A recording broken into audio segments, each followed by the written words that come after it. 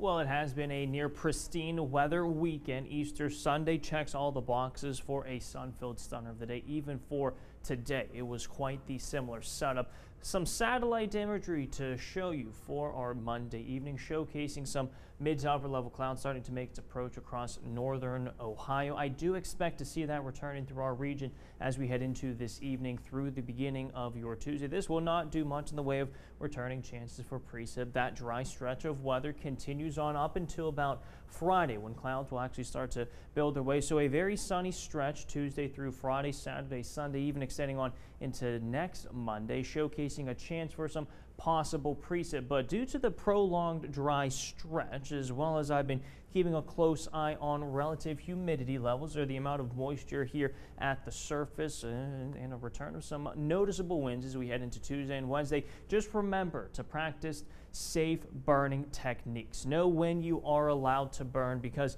whenever you're trying to get rid of those leaves, this, this, the trees, down trees from the wind storms that we had to deal with, as well as just some uh, nuanced sticks lining some of your grasses before you get that first mow in. Just remember to do safe burning practices 6 a.m. to 6 p.m. The restricted time for Ohio to burn West Virginia, your restricted time frame is 7 a.m. to 5 p.m. So just do your burning in the late evening hours once the atmosphere really starts to settle back down.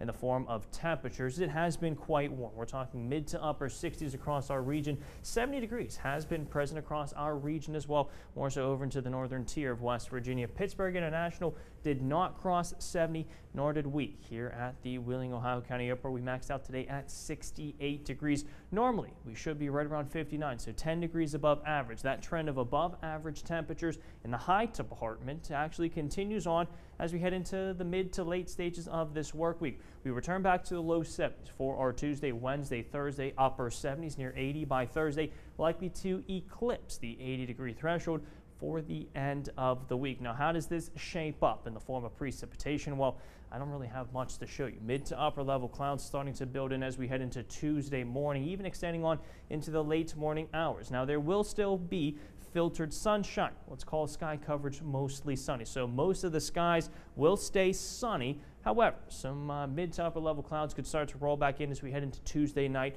Winds also becoming a bit more noticeable as we head into your Wednesday. I'm talking sustained winds from the southwest, 10 to 15, gusts near 25, 30 not out of the realm of possibility. Nice warm stretch continues on even into the end of the week and into the end of your work week. That is sunshine early Friday, clouds building into the afternoon. Chances for rain starting to be a bit spawny in nature come Saturday. Chance for some showers and potential rumbles of thunder. Sunday, we continue that stretch of possible precip through the beginning of next week.